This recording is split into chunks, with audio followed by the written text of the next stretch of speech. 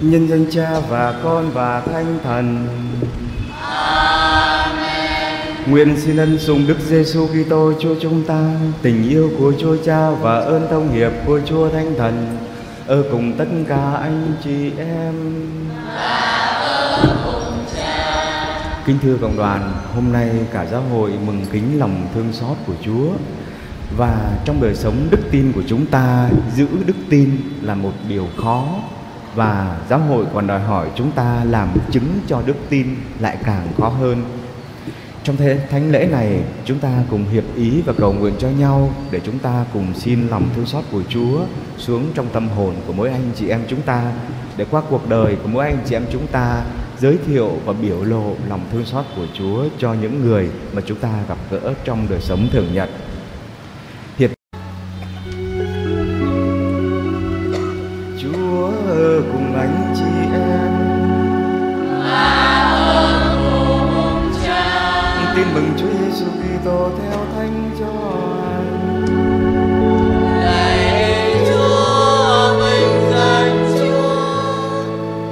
Vào chiều ngày thứ nhất trong tuần, nơi các môn đệ ở, các cửa đều đóng kín vì các ông sợ người Do Thái. Đức Giêsu đến đứng giữa các ông và nói: Bình an cho anh em. Nói xong người cho các ông xem tay vào cạnh sườn. Các môn đệ vui mừng vì được thấy Chúa. Người lại nói với các ông: Bình an cho anh em, như Chúa Cha đã sai thầy, thầy cũng sai anh em. Nói xong người thổi hơi vào các ông và bảo, Anh em hãy nhận lấy thánh thần Anh em tha tội cho ai thì người ấy được tha Anh em cầm giữ ai thì người ấy bị cầm giữ Một người trong nhóm 12 tên là Tô-ma cũng gọi là Đi-đi-mô không ở với các ông khi Đức Giêsu đến. Các môn đệ khác nói với ông: Chúng tôi đã được thấy Chúa. Ông Tô-ma đáp: nếu tôi không thấy dấu đinh ở tay người, Nếu tôi không xỏ ngón tay vào lỗ đinh Và không đặt bàn tay vào cạnh sườn người, Tôi chẳng có tin. Tám ngày sau, các môn đệ Đức Giêsu lại có mặt trong nhà. Có cả ông Tô-ma ở đó với các ông. Các cửa đều đóng kín. Đức Giêsu đến, đứng giữa các ông và nói, Bình an cho anh em. Rồi người bảo Tô-ma đặt ngón tay vào đây và hãy nhìn xem tay thầy. Đưa tay ra mà đặt cạnh, vào cạnh sườn thầy. Đừng cứng lòng nữa, nhưng hãy tin. Tô-ma thương người. Lạy Chúa của con, lạy Thiên Chúa của con. Đức Giêsu bảo, vì đã thấy thầy nên anh tin. Phúc thay những người không thấy mà tin. Đức Giêsu đã làm nhiều dấu lạ khác nữa trước mặt các môn đệ, nhưng những dấu lạ đó không được chép ở trong sách này còn những điều đã được chép ở đây là để anh em tin rằng Đức Giêsu là đấng Kitô, con Thiên Chúa và để nhờ tin mà được sự sống nhờ danh người. Đó là lời Chúa.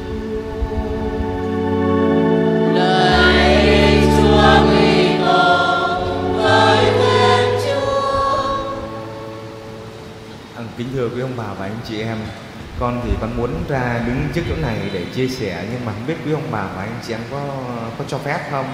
Không có quý ông bà và anh chị em là bảo chứ bé bé mà đứng giữa là giống như ý đảng vậy. Không biết có đồng ý không ạ? Dạ cảm ơn rất là kính thưa cộng đoàn à, chúng ta đang sống trong một cái bối cảnh của xã hội mà ở đó dường như mọi người hầu như là chúng ta thấy đang là một cách nào đó cụ thể. Mình nói là người ta đang lừa gạt nhau. Nói từ đó hơi nặng mà đang lừa gạt nhau là chính. À, lừa gạt nhau chính.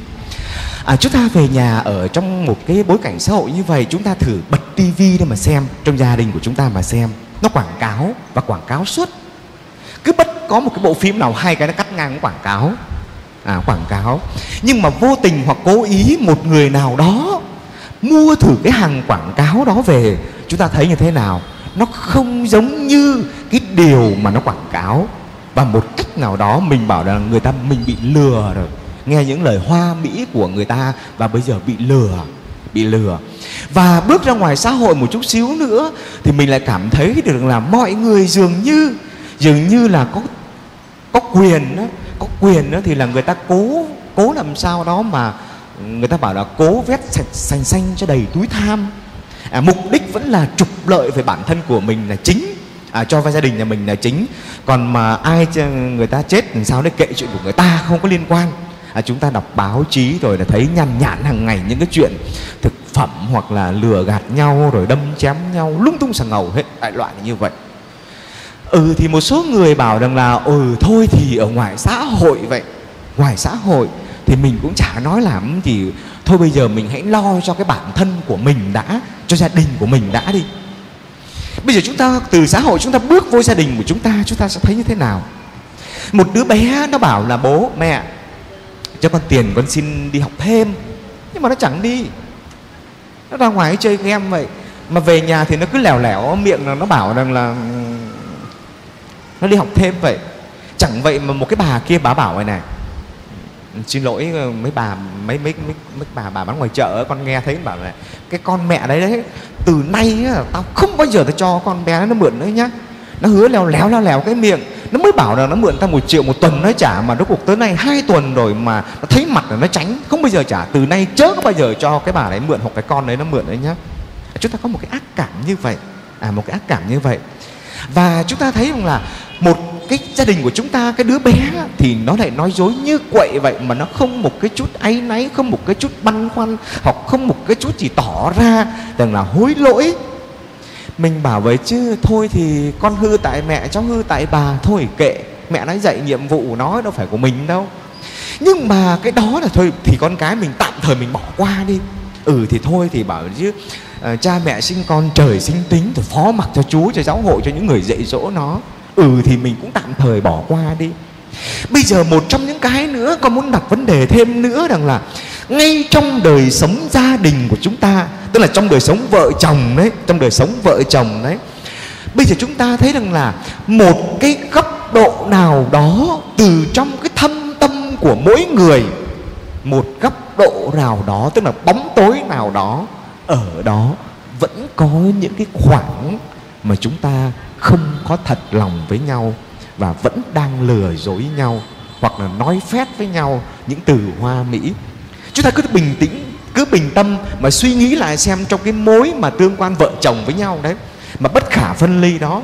Ở một góc độ ở đó chúng ta thấy mình vẫn không có phải là trung thủy cho lắm ở đây xin lỗi một số người là ý còn nói chung vậy thôi.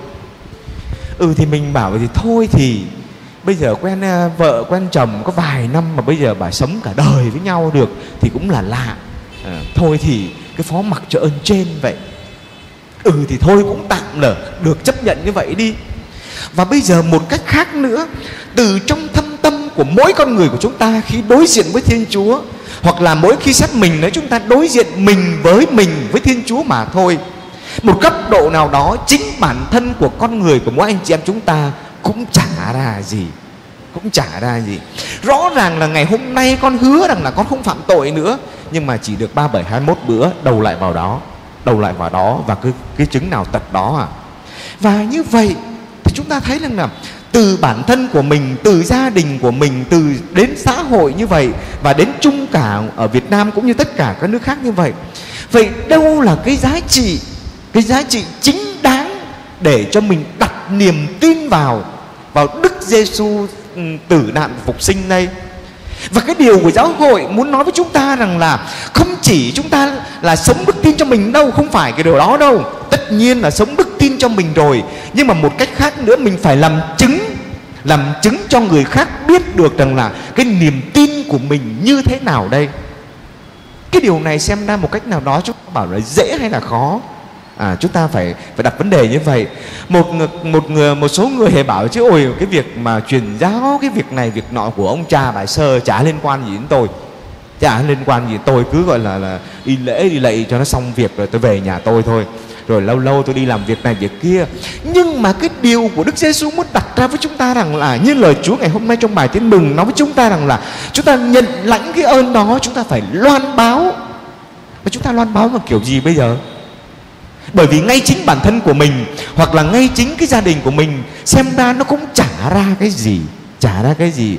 Người ta thì có thể làm ông này, bà kia, người ta có thể học bằng này, cấp nọ. Còn tôi tôi đi làm hồ, tôi đi quét rác, tôi buôn à, thúng bắn bưng ở ngoài chợ, tôi truyền giáo cho ai đây? Tôi nói sao mà người ta nghe được tôi đây? Vậy phải chăng là chúng ta bị loại ra cái điều mà đức giêsu đang mong muốn anh chị em chúng ta hay sao đây? Kính thưa quý ông bà và anh chị em rất thân mến à, khi con có dịp về Sài Gòn á, tại con thì con ở Đà Lạt như đầu lễ con với anh thông báo lịch có nói con về Đà Lạt. Con ở trên Đà Lạt nhưng mà khi có về có dịp thì con về có một lần con về Thủ Đức con dâng lễ. Khi dâng lễ xong thì à, có một cái em bé nó khoảng 13 14 tuổi á như mấy em chúc lễ nhỏ hơn chút xíu nữa. Nó đến với con bằng hai hàng nước mắt. Nó khóc và nó hỏi về chứ cha ơi cha có chúa không cha? Mà ớ thằng bé này sao mà nó hỏi có chúa không? Bởi vì tất nhiên là không phải rằng là là những cái bài mà giáo lý của các anh chị giáo lớp viên hoặc ông cha ông thầy bà sơi dạy không phải cái chuyện đó. Thì nó cứ khóc lóc vậy. Thì con mới bảo chứ thôi con ngồi xuống ghế đá này đấy bây giờ cha dâng lễ xong rồi con kể cho cha nghe xem đã xảy ra chuyện gì.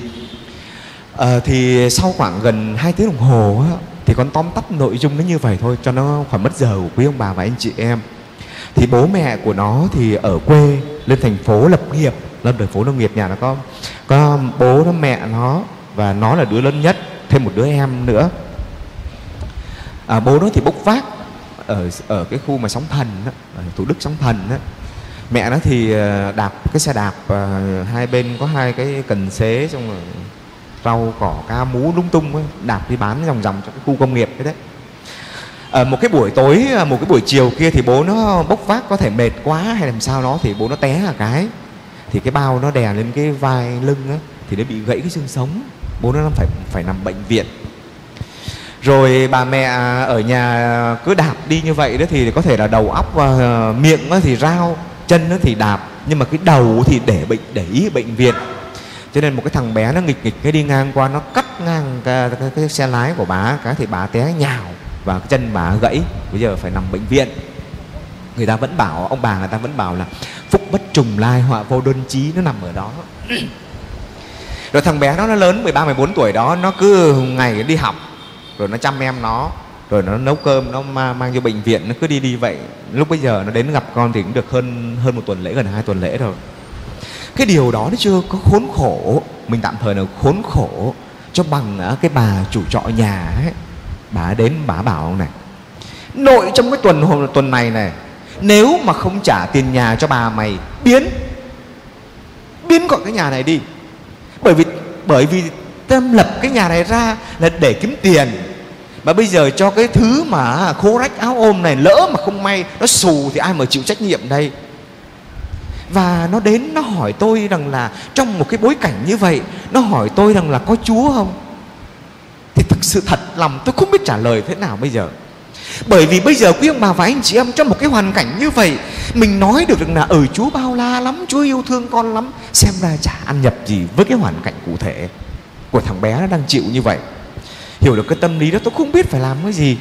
Tôi móc móc túi trước túi sau móc hết tất cả xong rồi thì là cũng gọi một số bạn bè thành phố nữa để mà giúp cho nó tạm thời cho cái tai qua nạn khỏi và chính bản thân của tôi tôi đến tôi cũng gặp cái chị mà chủ nhà trọ đấy. Chị đấy chị cũng làm ban hành giáo. Thủ quỹ thủ kéo thì ban hành giáo.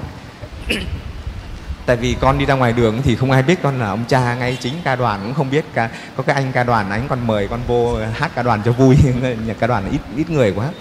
Thì con mới con mới cái lôi ra con bảo chứ chị em là linh mục.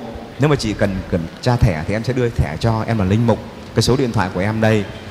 À, thôi thì chị hãy tạm thời cho cái gia đình của em này ở đây để tai qua nạn khỏi đã. Đặt giả thiết chị anh chị trả không được em em sẽ đứng ra em trả thay cho chị. Rồi không biết ơn chúa thế nào thì chị cũng ok chị cũng đồng ý. Hên quá chị cũng gật đầu chị đồng ý. Và như vậy thì một một thời gian sau thì nó cũng tai qua nạn khỏi tạm thời. Rồi khi mà có dịp về thành phố không phải xin tiền như bây giờ đâu về thành phố thì có một lần đấy cũng xong sớm, mà thì tôi mới sực nhớ thằng bé đó bây giờ muốn ghé xuống thủ đức thử thăm nó xem nó như thế nào. Một buổi chiều nó cũng cỡ như giờ này này, nó ngồi ghế đá trong khu nhà trọ. Tôi mới lặp lại cái lời của nó nói, nó hỏi tôi là có chúa ông cha đấy? Thì ngồi, hai cha con ngồi ở cái ghế đá xéo xéo. Bữa nay nó có nắng chứ không phải nó tối tối như bây giờ đâu. Tôi mới hơi lặp lại cái bảo chứ, sao con? Con cảm thấy có chúa không con? Quý ông bà và anh chị em biết là thằng bé đó nó không trả lời. Nó không trả lời. Và cái ánh mắt của nó phóng ra xa, nhìn cái bầu trời có vẻ man mát và từ cái ánh mắt của đứa bé đó thì con hiểu được rằng là những cái việc làm của mình, những cái lời nói của mình chưa đủ bằng chứng để cho một người khác họ thì có thể cảm nhận thấy được rằng là có một thiên chúa đang yêu thương họ và làm sao chúng ta có thể mà nói cho người khác được họ để họ cảm thấy được là có một thiên chúa đang yêu thương họ ở đây? Khó lắm khó lắm chứ không phải đơn giản như mình nghĩ đâu. Không phải là mình đi mình làm việc bác ái một vài chục một vài triệu một vài đồng hoặc một vài chục triệu mình bảo họ tin ngay không có đâu không có cái điều đó đâu. Và bây giờ mình phải làm sao đây? Khi mà con kể câu chuyện này xong á, thì một số người thì họ bảo chứ khi dâng lễ xong có một chị sồn sồn nó bốn năm chục gì đấy lại cỡ đấy chị cũng cắt cớ, thì chị bảo chứ, sau lễ thì chị mới hỏi con vậy chứ. Thế thưa cha, thế câu chuyện cha kể như vậy thì con thấy nó cũng đúng một phần nào đó. Thế bây giờ cái cuộc đời khốn khổ như vậy thì theo cha thì bây giờ mình phải làm cái gì đây để mà chứng tỏ đức tin của mình đây? Tôi nói chơi mà tôi nói thật. Tôi bảo chứ tôi cũng chả biết làm cái gì. Tôi cũng không biết làm cái gì. Bởi vì cái đức tin dù sao hay không là làm mỗi anh chị em chúng ta là phải trực tiếp đối với thiên chúa, không ai có thể thay chúng ta được. Chúng ta có thể đến với một ông cha, một ông thầy, một bà sơ hay một nhà tư vấn nào đó, vân vân. Chúng ta bảo rằng là, thưa cha, thưa thầy, thưa sơ, rằng là cái hoàn cảnh của nhà con như vậy, cái ờ, vợ chồng con nó xỉn xèo, nó như vậy, nó đánh con như vậy, nó thế này thế kia. Ông cha, bà sơ có thể bảo rằng là ừ về nhà con làm như thế này, nhưng về nhà làm hay không, nó là chuyện của quý ông bà và anh chị em, đâu phải của ông cha. Và cái đức tin nó cũng sẽ y như vậy. Đức tin của chúng ta nó cũng sẽ y như vậy. Tức là dù sao hay bất cứ giá nào rằng là trực tiếp chúng ta đến với thiên chúa mà thôi. Còn nếu không tất cả chúng ta chỉ sử dụng cái đầu của chúng ta giống như tô ma trong bài tin mừng ngày hôm nay vậy. Nếu nếu nếu nếu và nếu. Nếu mà con đưa cho Chúa cái này rồi, Con đi làm bác ái cho Chúa cái này rồi, Thì ngược lại Chúa ban cho gia đình con cái gì đây? Chúng ta đòi hỏi hoặc liệt kê ra một số cái vấn đề con đang đòi. Chúng ta đang cần Cần Thiên Chúa phải đáp ứng ngay. Nếu Thiên Chúa đáp ứng ngay chúng ta vỗ tay à, Thiên Chúa rất là linh thiêng. Còn ngược lại cầu nguyện mãi mà chẳng được. Xem ra Chúa chả linh thiêng. Thôi thì một số chị không nói hết tất cả. Đi coi bói coi như thế nào. Đi coi bói coi ông thầy ông phán như thế nào. Và vậy bây giờ chúng ta đặt niềm tin vào đâu đây? Giáo hội bảo chúng ta rằng là chúng ta đặt niềm tin vào Đức Giêsu tử nạn và phục sinh. Chứ không phải là Đức Giêsu phục sinh không đâu. Tức là cái chết và cái sự phục sinh của Đức Giêsu. Vậy bây giờ chúng ta phải đặt làm sao đây? Tôi nói với cái chị đó và cũng thưa với quý ông bà và anh chị em luôn. Tôi nói với chị đó rằng là thật lòng á, em thì em cũng không biết như thế nào. Nhưng mà có một điều em vẫn xác tín từ cái hồi mà em có trí khôn đến bây giờ này và em thưa với chị cũng nhà thưa với cộng đoàn rằng là tôi vẫn xác tín rằng là cho dù cái cuộc sống của chúng ta nó có vất vả cỡ nào đi chăng nữa à, thì chúng ta vẫn phải biết được rằng là à, chúng ta phải từ trong thâm tâm của mỗi anh chị em chúng ta đấy là chúng ta phải quỳ xuống nhìn lên thập giá của Chúa. Để giống như các môn đệ vậy trong bài tin ngày hôm nay cũng vậy, giống như các môn đệ vậy quỳ xuống từ trong cái cõi lòng của mình đấy, quỳ xuống và thân thưa với Chúa rằng là, xin thầy xin thầy Giêsu đấy hãy ban thêm đức tin cho chúng con. Xin thầy ban thêm đức tin cho chúng con để giữa những sai lầm của cuộc sống, những cái bon chen của cuộc đời đấy, những cái mà người ta lừa gạt nhau, những cái người ta dối trá nhau đó, chúng con vẫn tin và biết được rằng là có một thiên chúa rất là công bằng và ngay thẳng vô cùng. Xin Thầy Giêsu hãy ban thêm đức tin cho chúng con để giữa những sai lầm của cuộc sống, những cái tội lụy của bản thân, của gia đình và của những tất cả những người khác để chúng con có thể hiểu được rằng là có một Thiên Chúa luôn luôn và luôn luôn mong muốn con cái của mình quay trở về từng ngày từng giờ với Thiên Chúa là Cha toàn năng. Và xin thầy Giêsu hãy ban thêm đức tin cho chúng con để chúng con có thể là, là làm chứng cho Chúa ngay trong đời sống bằng những công việc nhỏ bé của mình, giống như là rửa bát, quét nhà hoặc là phục vụ chồng, phục vụ con cái vậy. Đó cũng chính là cái niềm tin mà giáo hội ngày hôm nay đang dạy dỗ chúng ta, là chúng ta biểu lộ cái lòng thương xót của Thiên Chúa trong cuộc đời của mình, để chúng ta có thể nói cho những người khác về cái cảm nhận, cái cảm nhận mà chúng ta cảm nhận thấy rằng là Thiên Chúa đã xót thương cái thân phận nhỏ bé, tội lụy của chúng ta như thế nào. Và kính thưa quý ông bà và anh chị em. Để chứng tỏ cái niềm tin đó con xin mời quý, quý ông bà và anh chị em đứng chúng ta cùng tuyên xưng lời kinh mà chính giáo hội đã dạy mỗi anh chị em chúng ta.